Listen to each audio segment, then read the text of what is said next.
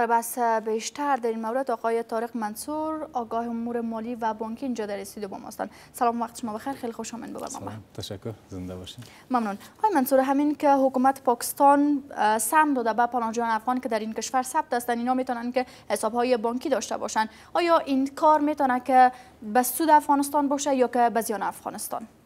تشکر. زنده باشین. اگر ما تاریخچه بانکداری را به صورت عموم مثلا در تمام بانک کشورهایی که افغان ها مهاجر هستند ببینیم. در هر کشور ماجرین اجازه دارن حساب داشته باشن ولی که نظر به مناسبات خرابه که بین افغانستان و پاکستان بود متاسفانه.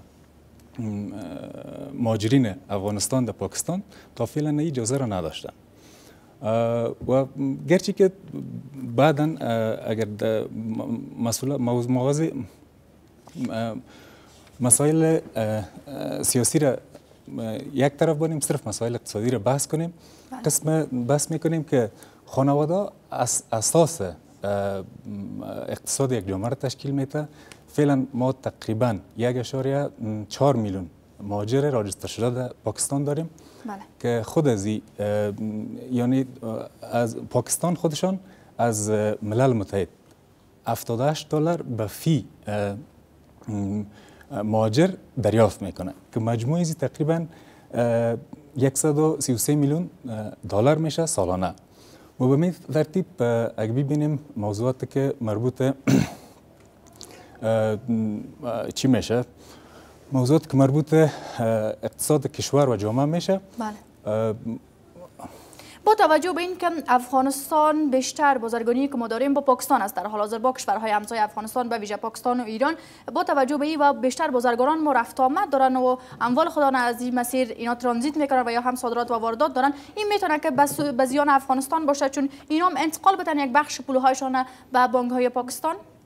اصلا اگر در دراز مدت در نظر بگیریم تاثیرات دراز مدت از این قسم است که افغان مهاجرین افغانستان و سرمایه گذاری افغانستان خصوصا در بخش قالین کسایی که تجارت می‌کنن خود معصومتر احساس می‌کنن به می ترتیب آیسته آیسته امی عمل پاکستان باعث فرار سرمایه از افغانستان میشه. البته در دراز مدت و همچنان موضوع دیگری که در نظر بگیریم فعلا یک اشاره افت تا افت میلیون مهاجر افغانستان اونجاست که نظر به گزارشات خود وزارت داخلی پاکستان.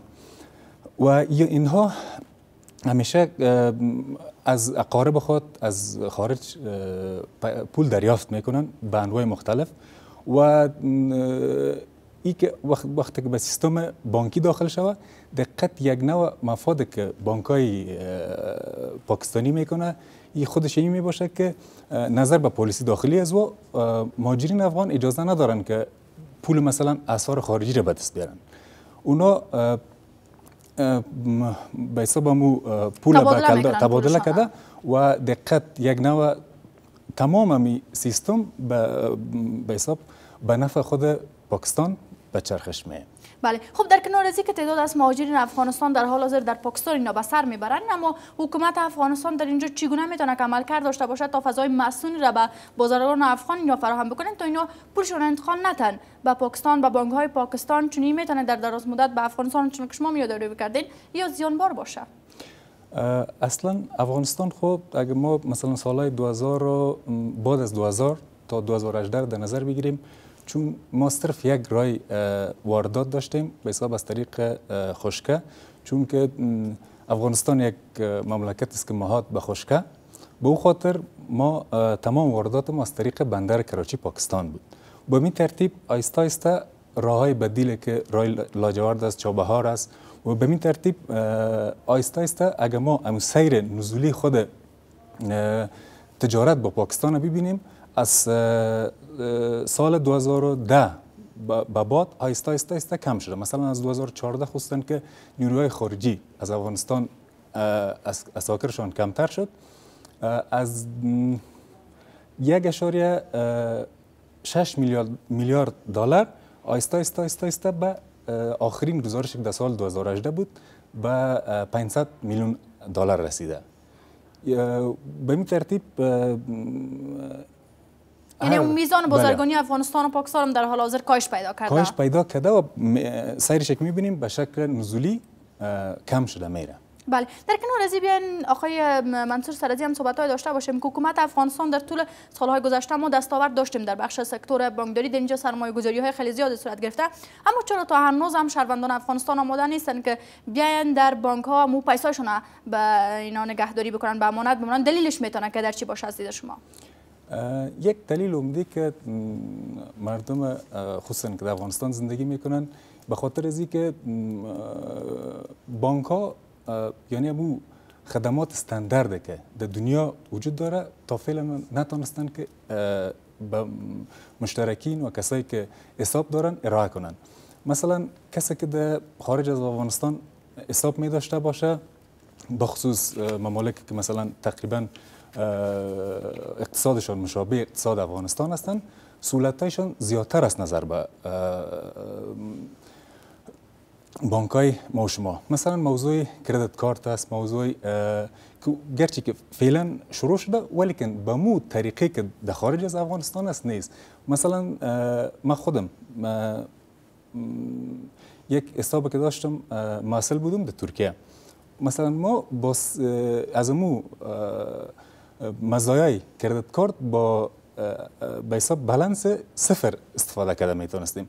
ولیکن در افغانستان برعکس باید است به مو اندازه که می‌خواین شما استفاده کنین به مو اندازه پول در حسابتان باید است بلاک شود. بله.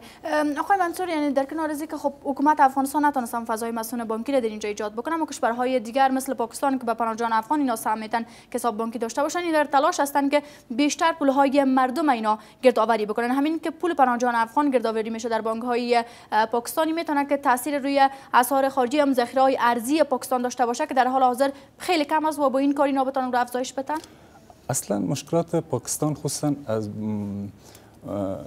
قطع شدن به حساب یک اشاره سه میلیارد دلار که توسط هر سال از طرف امریکا به دست می آوردن اما بسیار بر اقتصادشان ضربه کلان آورد کردن به اون ترتیب اونا فعلا می‌خواین که راه های بدیل را پیدا کنن. مثلا شما شاهد بودین که هفته گذشته در عربستان برشان با تقریبا 23 میلیارد دلار وعده سرمایه گذاری را کرده و روابط خوبشان با چین. بله. و امی و امی مثلا یک یک اشاره 5 میلیون کسی که ماجر که در چی بله. هستن؟